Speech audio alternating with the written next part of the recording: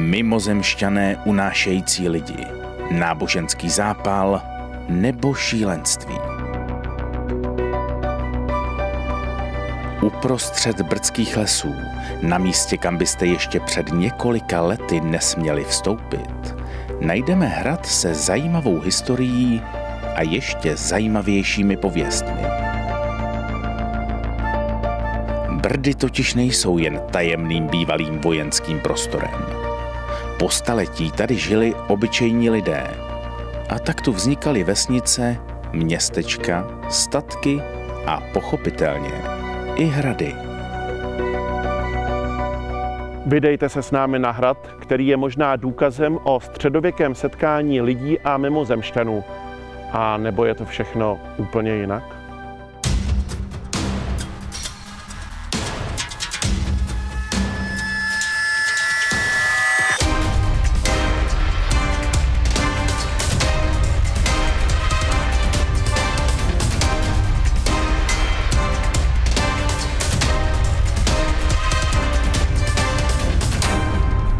Dnes se vydáme na místa, kam bychom se před pár lety stěží dostali.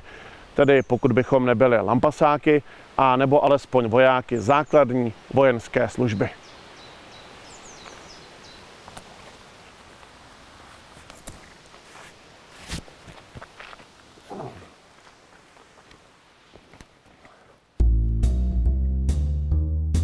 A kdybychom se sem dostali, tak bychom si tady rozhodně nemohli jen tak něco natočit. Takovým natáčením bychom si v minulosti na tomto místě koledovali o kriminál jako špioni nepřítele.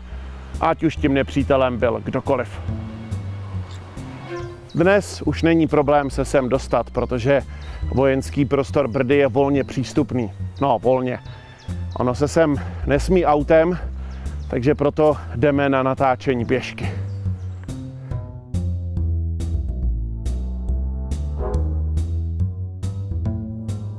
Brdy jsou dnes místem především s krásnou přírodou. Vyrazíte sem na výlet, pěší nebo na kole. A nejspíš vás přitom ani nenapadne, že tady všude kolem ještě před několika desítkami let bydleli lidé. Kromě vesnic bychom tady tak našli i hrady. Poetické názvy jako Držčka, Hengst nebo Teslíny – Hradů zkrátka bylo v Brdech docela dost, jenže do dnešních dnů z nich mnoho nezbylo. My se ale vydáme na jeden, který se v rámci možností přeci jen dochoval.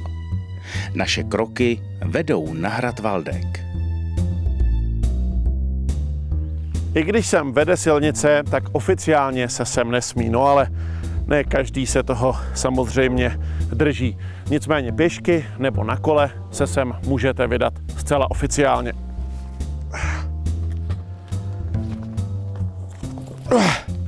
No, tak se dáme do práce. O hradu Valdek existují sice zmínky datované už do 13. století, jenže ty nejsou v tomto případě tak úplně spolehlivé.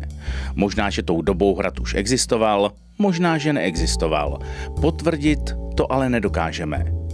Jistotu, že hrad opravdu stál, tak máme až od roku 1315. V roce 1315 je zmiňován jistý velem zajíc z Valdeku. Že to nebyl někdo obyčejný, tak důkazem o tom je to, že si získal i přízeň Elišky Přemyslovny. Ta tomuto velémovi svěřila do výchovy dokonce svého syna Václava. Malý Vašík si dokonce později změnil jméno na Káju a nebyl to nikdo menší než král Karel IV. To znamená, že Velem Zajíc rozhodně nebyl jen tak nějaký hej nebo počkej, protože byl vychovatelem pozdějšího krále a císaře. Hrad dal jméno i pánům z Valdeka, což byla jedna z větví rodu Buziců. Ten podle Kosmovy kroniky založil jistý Buz. Název Buzici si ale podle všeho vymysleli až historici v 19. století. Za husických válek byl potom nejprve hrad Valdek oporou katolíků, jenže v roce 1433 se stal jeho majitelem Jeník z Mečkova, který stál pro změnu na straně husitů. V 16. století se mezi majiteli hradu objevuje Pešík z Komárova. z Komárova, který byl později znám díky železárnám. A i s těmi železárnami je vlastně osud tohoto hradu spojen. Až do 30. let 20. století totiž hrad vlastnil rod Hanavských, který také vlastnil i ty komárovské železárny. Ale když se bavíme o 20. století, tak to už je období, kdy z hradu Valdek zbyly jen ruiny. Jenže i zříceniny lákají. A tak se v 19. století stal Valdek místem, které navštěvovali všechny romantické duše, co jich jen česká kultura v té době měla.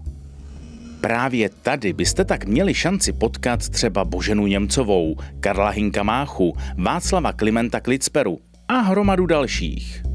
Mácha chtěl prý o Valdeku dokonce něco napsat, ale už to nestihl. Václav Kliment Klicpera dokonce napsat stihl, jenže jeho divadelní hra Valdek nakonec zrovna moc úspěchu nesklidila.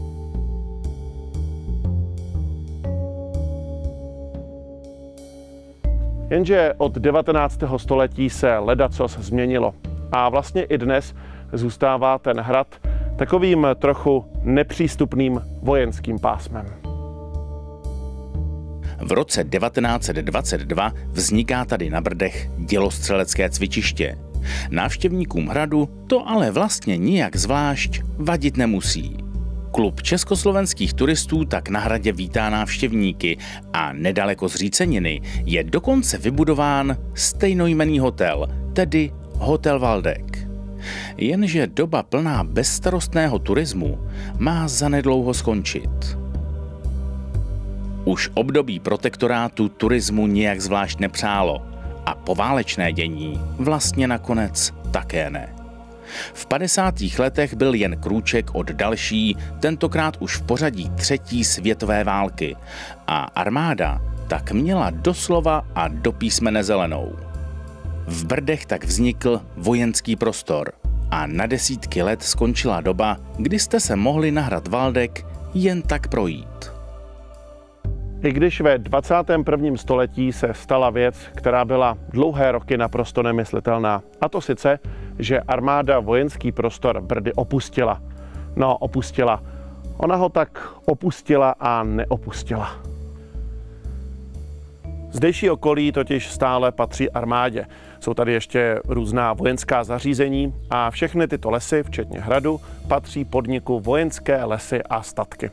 A tak se tady turisté setkávají s armádními direktivními zákazy. Jak je ale vidět, tak si z toho nikdo moc nedělá.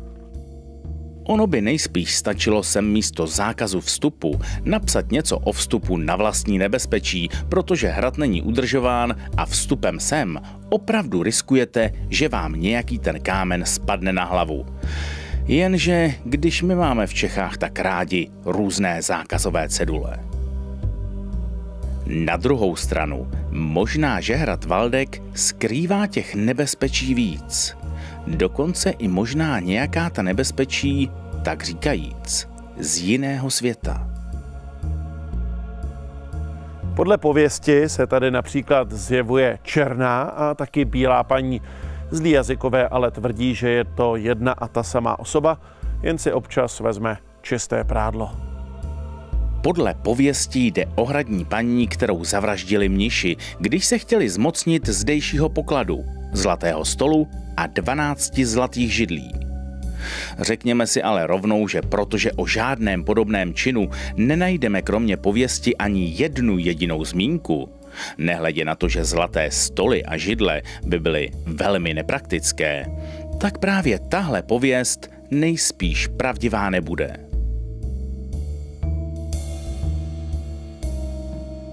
My tady ale najdeme ještě jednu pověst, která je mnohem zajímavější.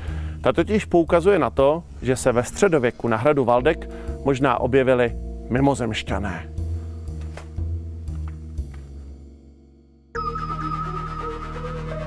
Zbožný pán Oldřich Zajíc z Valdeka uctíval v hradní kapli sošku Pany Marie. Modlil se vroucně a najednou se u něj objevili dva vysocí jinoši zvedli urozeného pána do vzduchu a letěli s ním na nedalekou louku. Tam uviděl překrásnou panu, která ale jakoby stála v jakési zářící kouli, nebo snad obklopena svatozáří. Postava panu Zajícovi řekla, ať na louce nechá postavit klášter.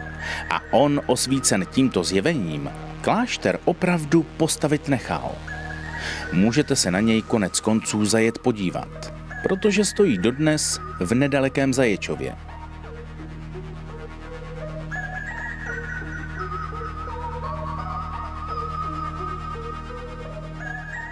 Co se tedy tady opravdu stalo? Bylo to nějaké zjevení nebo opravdová návštěva mimozemšťanů? Existují všechny možné hypotézy a vysvětlení. V posledních letech ale mírně vyhrává právě ta s mimozemšťany.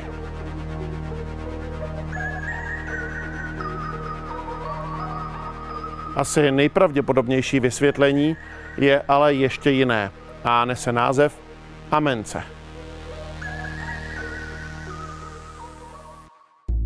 Amence je zjednodušeně řečeno odborný výraz pro zmatenost nebo ještě lépe pro náboženskou extázi či poblouznění. Při hodně silné modlitbě se totiž člověk může dostat do stavu, kdy začne propadat různým iluzím a může si přivodit třeba i halucinace. Pokud se k tomu přidá například ještě holotropní dýchání, tak slovy klasika hodně budeš někde.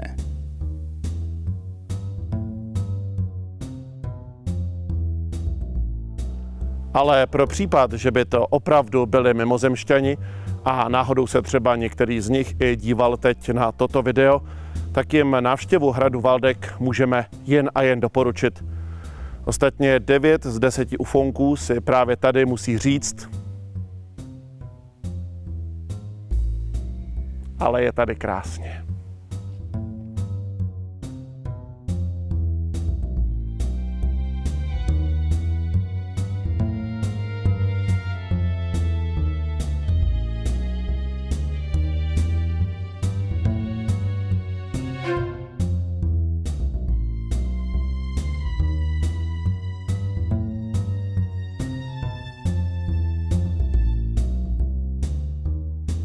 Nezapomeňte nás sledovat také na sociálních sítích, na Facebooku a na Instagramu.